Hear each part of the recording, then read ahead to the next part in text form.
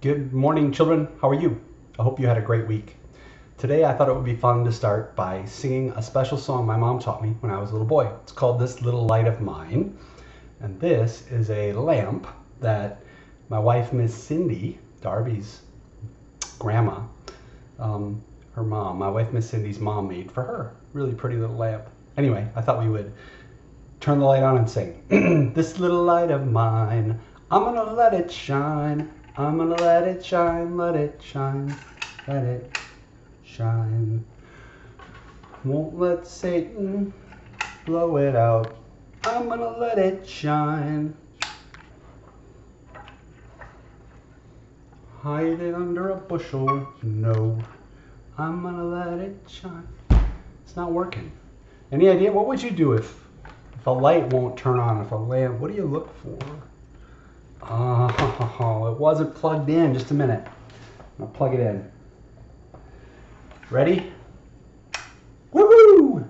This little light of mine, I'm gonna let it shine. So you have to have your parents teach you the rest of the song.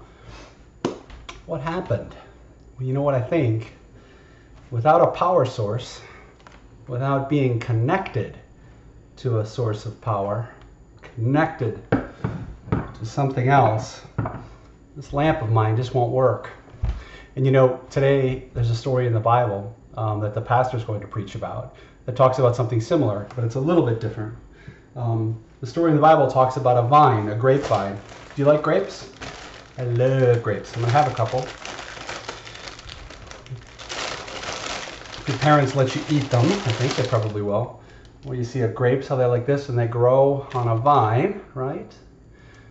Mm. These are red ones. Mmm, really good. I'm thirsty and hungry.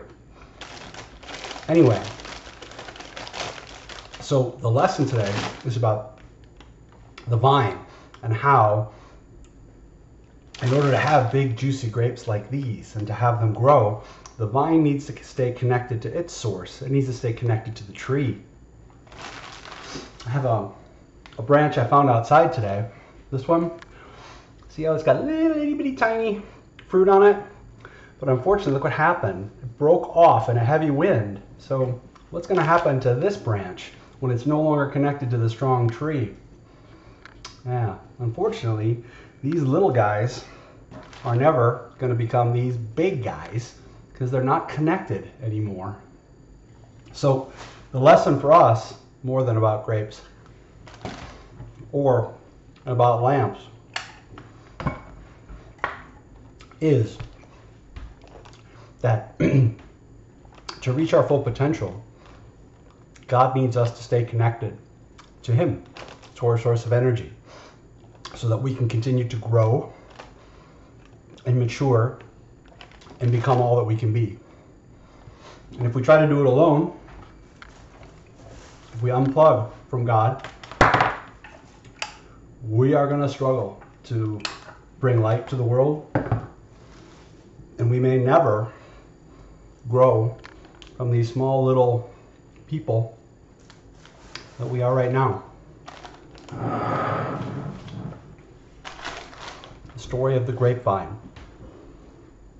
Will you pray with me? Lord Jesus, thank you for being our source of strength and power. Help us to stay connected so that we can reach our potential and shine a great light. Amen. Have a great week. Love you. Oh. Bye.